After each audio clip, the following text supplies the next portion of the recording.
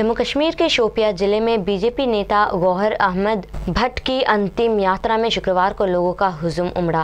गौहर भट्ट की गुरुवार के आतंकियों ने हत्या कर दी थी। गौहर बीजेपी जनता युवा मोर्चा के जिलाध्यक्ष के पद पर पार्टी की गतिविधियों को आगे बढ़ाने का काम कर रहे थे। गुरुवार रात गौहर का शव किलोरा के एक बगीचे से बरामद किया गया।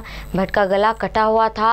गौहर शोपियो के बोगाम इलाके के निवासी थे। पुलिस अधिकारी ने बताया कि इस मामले में पुलिस ने एक मामला दर्ज कर लिया है और जाँच की जा रही है।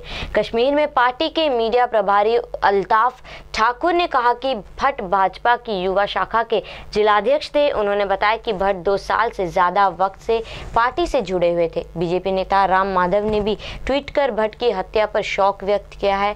पर माधव ने ट्वीट कर लिखा है, तीन दिन पहले ही श्रीनगर में उनसे मिला था आतंक के खिलाफ लड़ाई के कारण उनका गला कटा, शव बरामद हुआ है। मेरी संवेदनाएँ उनके परिवार के साथ है, उनका बलिदान हमारे संकल्प को और दृढ़ करेगा।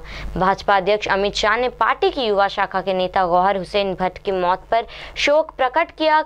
और जम्मू कश्मीर के शोपिया में आतंकवादियों ने कथित तौर पर उनकी हत्या कर दी थी। शाह ने सिलसिलेवार ट्वीट में कहा कि जम्मू कश्मीर में शोपिया के हमारे बीजेवाईएम जिला प्रमुख गौहर अहमद की कृष्ण हत्या के बारे में जानकर दुख हुआ। शाह ने कहा कि आतंकवादी युवाओं को एक बेहतर भविष्य चुनने से नहीं रोक सकते। इसके आगे उन्होंने लिखा कि भाजपा गौहर अहमद के परिवार के साथ खड़ा है।